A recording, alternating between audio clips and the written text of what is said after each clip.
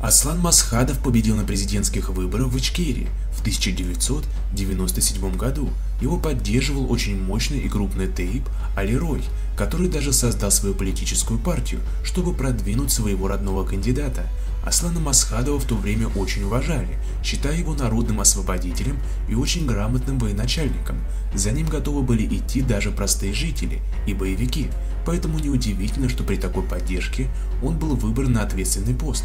Старейшины его тейпа радовались такому результату и спешно потирали руки.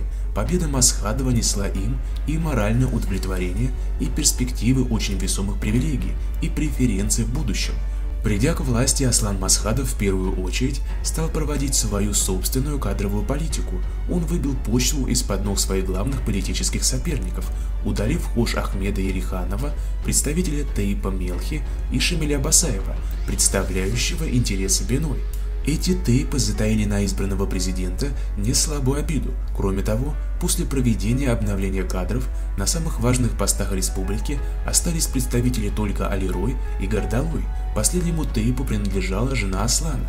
Таким образом, Масхадов вызвал недовольствие и нажил себе самых первых врагов. Потом он и вовсе потерял контроль над республикой. Наступила власть удельных князей, затем последовало нападение на республику Дагестан, виной всему власти деньги.